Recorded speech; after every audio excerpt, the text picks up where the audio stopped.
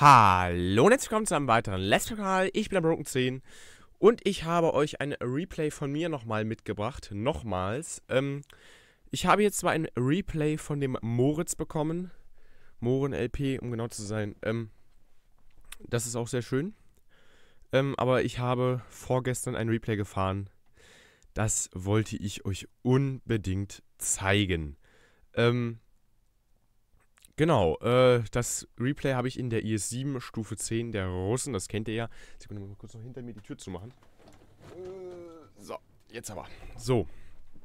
Ähm, ja, dieser Panzer war mein allererster Zehner, den ich jemals besaß. Ähm, oder besitze.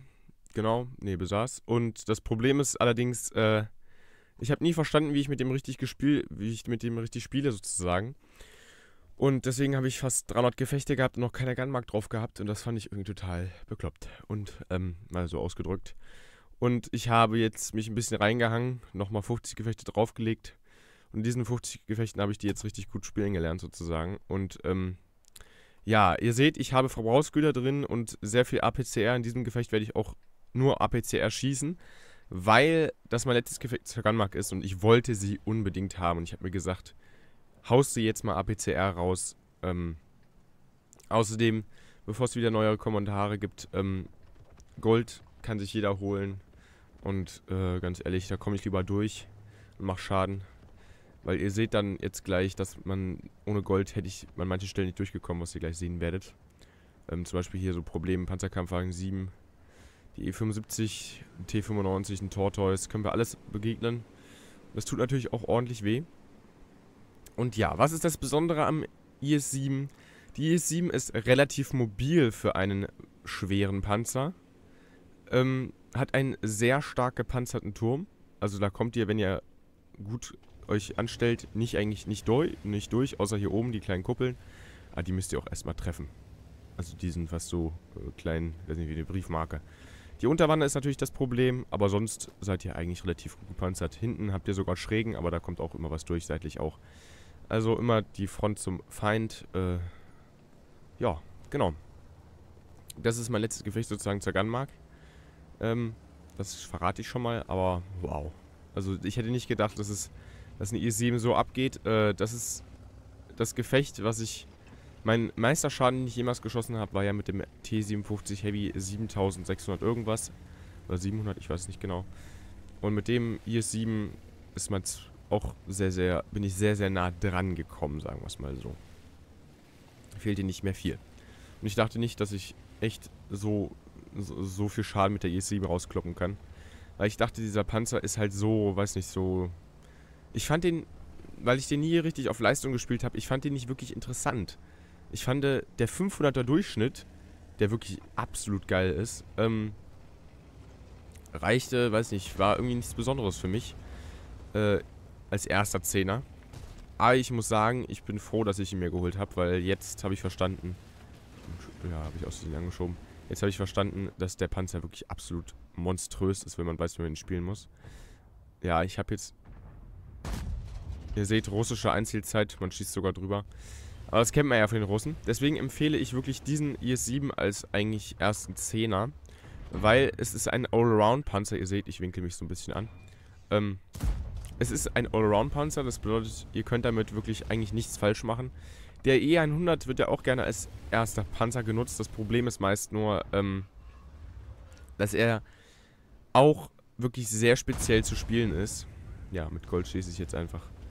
E75, ihr seht jetzt, war E75 am, nur am Turm zu sehen, ist ein Problem. Aber mich penetrieren sie ja auch nicht.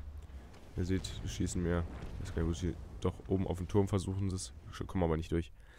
Ähm, ein E100 ist ja sehr, sehr relativ kompliziert zu spielen als ersten Zehner wegen dem Turm. Man muss sich immer mit dem Turm arbeiten. Hier muss man nicht auf sowas achten. Eigentlich nicht, außer wenn da ein Feind direkt hier drauf schießt. Aber sonst müsst ihr eigentlich da nicht drauf achten, nicht unbedingt. So, ihr seht, mit Gold kommen wir hier easy durch. Wir haben hier mit AP haben wir 250 Durchschlag, mit APCR mit 303. Mit 303 kommen wir eigentlich überall durch. Oder relativ gut durch. Ähm, ja, ich brauchte zur Gunmark 2500 Schaden. Ihr werdet aber sehen, dass ich das weit, weit, weit, weit übertreffe, die 2500 Schaden. Und ihr seht auch, die haben ja echt Probleme, mich zu penetrieren. Sie prallen ab, weil sie nur meinen Turm sehen. Sobald ich die Unterwanne zeige, ist die IS-7 wirklich sehr, sehr, sehr verletzlich, aber anders eigentlich nicht. Also wenn ihr die IS-7 ein bisschen spielen könnt, ich habe es jetzt, jetzt in den letzten 50 Gefechten gelernt, äh, versteckt einfach eure Unterwanne. Das ist das A und O bei Russen sowieso. Also immer Unterwanne runden verstecken, das ist immer das Beste. Da seid ihr am sichersten. Seitlich E75 Turm. Ihr seht ja auch immer diese Kellen 548, das sind schon wirklich sehr, sehr schön satte Kellen, also diesen Wow. Die machen auch wirklich Spaß. Früher konnte ich, früher war ich halt noch nicht so erfahren in WOT und ich hatte halt mit 7000 Gefechten einen Zehner. Und ich finde, 7000 Gefechte ist viel noch viel zu früh für einen Zehner, muss ich ehrlich sagen. Also für mich war es einfach noch zu früh und ich war, habe mich dann einfach, habe den dann 200 Mal gefahren, aber nicht wirklich nachgedacht, wie ich ihn fahren muss, sondern irgendwie gefahren. Und dann habe ich ihn einfach mal in der Garage stehen lassen. Das war es dann auch. Dann habe ich halt die neuen anderen Zehner geholt, T57 Heavy und so. Und in der ganzen Zeit, also ich habe ja jetzt sechs Zehner.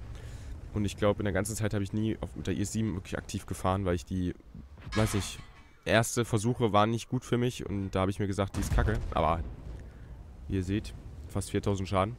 Die ist echt richtig geil. Die ist wirklich geil. Und vor allen Dingen für Anfänger, da kann man eigentlich nichts falsch machen. Aber ja. Mal sehen.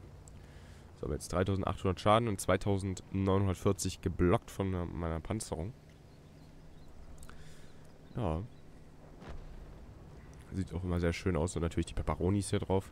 Die wachsen hier am besten. Kriegen sie immer am meisten Sonne. und ja, ähm, für die ganzen neuen Zuschauer. Ich habe ja jetzt durch das Gewinnspiel ganz, ganz, ganz, ganz, ganz, ganz ähm, viele neue Zuschauer bekommen. Ähm, möchte ich euch einfach sagen, vielen, vielen Dank, dass ihr da seid. Ähm, nochmal ganz wichtig, äh, ich fahre im V-Modus, das habe ich total vergessen zu sagen. Also ich sehe nichts. Also ihr könnt kleine Panzer nehmen. Ich fahre im V-Modus, das bedeutet, ich sehe das hier. Mehr sehe ich nicht. Na, wo ist ein Panzer da? So würde ich dann die Panzer sehen. Und wenn ihr euch da im Gebüsch versteckt, naja, sieht man auch nicht unbedingt viel. Genau, damit ihr Bescheid wisst, äh, wie ich dann rumfahre. Ja, die Tortoise, da könnte ich jetzt AP laden. Habe ich auch, weil ich mein ganzes APCR schon verhämmert habe. Die 11 Granaten. Ich glaube, es haben wir auch fast alle getroffen. Außer die drei am Anfang. Die habe ich alle drei verschossen. Ähm, auf Entfernung ist die ES7 ganz okay. Sie ist nicht schlecht, aber ich habe noch keinen... Äh, ich habe kaum Module hier drin. Ich habe einen Ansetzer und ich habe, äh, glaube ich... Ich habe keine Ahnung, was ich da noch drin habe. Lüftung, glaube ich. Weil ich den halt IS-7 halt eher so als Abstellpanzer benutzt habe. Das ist aber, war ein totaler Mist, den ich da gemacht habe. Ich bin froh, dass ich die jetzt nochmal ausgepackt habe und ich fahre die jetzt auch wirklich wieder gerne. Ihr seht, Tortoise. Einfach oben durch den Deckel. Und sie kommt auch nicht bei uns durch, obwohl sie so schnell schießt. Kann sie noch so schnell schießen. Tschüss. 4900 Schaden. Und das ähm, daran werde ich euch einfach mal zeigen, dass ich finde, dass der Panzerkampfwagen 7 eine Reihe ist, oder mit einer der schlechtesten Reihen ist, die es in World of Tanks gibt. Es gibt viele Leute, die einen VK 7201K haben. Der ist noch relativ gut, aber von der Panzerung her ist der Panzerkampfwagen 7 ein Witz, weil sobald der Panzer sidescraped, könnt ihr ihm, warte, gehen wir hier hin, so, der Panzer ist ja nicht unter Wanne zu penetrieren, da auch nicht. Backen wird schwer. Das Einzige, wo ihr hinschießen müsst, ist dahin. Dieser Konöppel hier, dieses bis hier oben. Das Teil könnt ihr mit, mit einem Achter penetrieren. Das bedeutet, er steht seitlich, ich schieße da einfach hin. Damage. Das bedeutet, wenn ein Panzerkampfwagen 7 sidescraped oder einen VKB, schießt ihm einfach da auf das Teil. Ihr kommt da ohne Probleme durch. Seht ihr, selbst, selbst bei der kompletten Rundung. Deswegen, ähm, ich finde den Panzerkampfwagen 7 wollte ich früher mal haben, aber ich finde ihn einfach, obwohl er frontal sehr, sehr gut gepanzert ist, finde ich ihn einfach im Durchschnitt einfach ein bisschen zu schlecht, muss ich ehrlich, ganz ehrlich sagen. Weil ihr kommt wirklich relativ gut durch, er macht nicht viel Schaden. Und, ähm, ihr seht, er hat halt keine Chance gegen uns jetzt. Und wie ihr seht, 6534 Schaden gemacht. Wir haben leider durchgekappt. T95 kriegen wir nicht noch. Da ist er noch. Ich glaube, der schießt noch einmal, oder?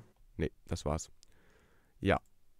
Also nochmal so ein kleiner Rat, wer sich überlegt, zum Panzerkampfwagen 7 zu gehen, der muss sich wirklich überlegen, oder beziehungsweise er muss sich wirklich sagen, er darf nicht sidescrapen, sonst kommt alles durch. Und das ist der Mist, weil deutsche Panzer bauen eigentlich darauf auf, dass sie Sidescraping machen. Also sieht man ja, E75 Tiger 2, äh, die ganzen, oder dieser VK, der da vorkommt, kann ja auch super Sidescrapen.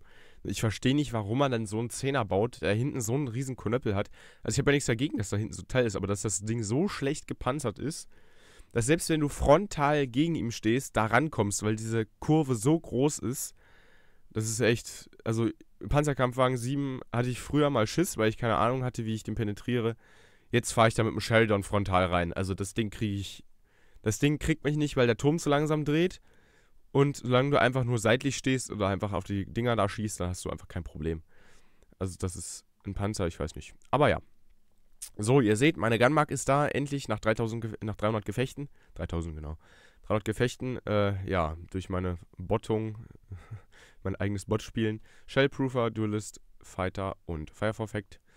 Wir haben hier einmal 6534 Schaden. Und der Panzerkampfwagen 7 hat 6543. Einfach nur umgedreht. Einfach 10 Schaden mehr. Nee, 9 Schaden mehr.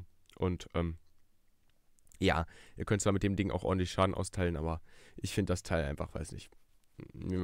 Ich würde das Teil nicht in meine Garage stellen, einfach ganz einfach gesagt.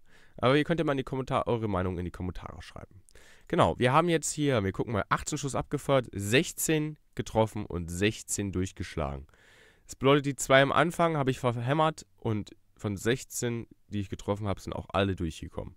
Ich habe keinen abgeprallt. 6300, nee, 6534 Schaden gemacht, 3340 gebounced und 142 assistiert. Ne, das ist eigentlich wurscht. Und obwohl ich Zusatzrationen habe, 11 Goldgranaten plus den ganzen Rest und noch, äh, ja, nee, das war's eigentlich, habe ich trotzdem noch Plus gemacht. Obwohl, ja gut, ich habe Premium-Konto, aber trotzdem, ich habe trotzdem noch Plus gemacht.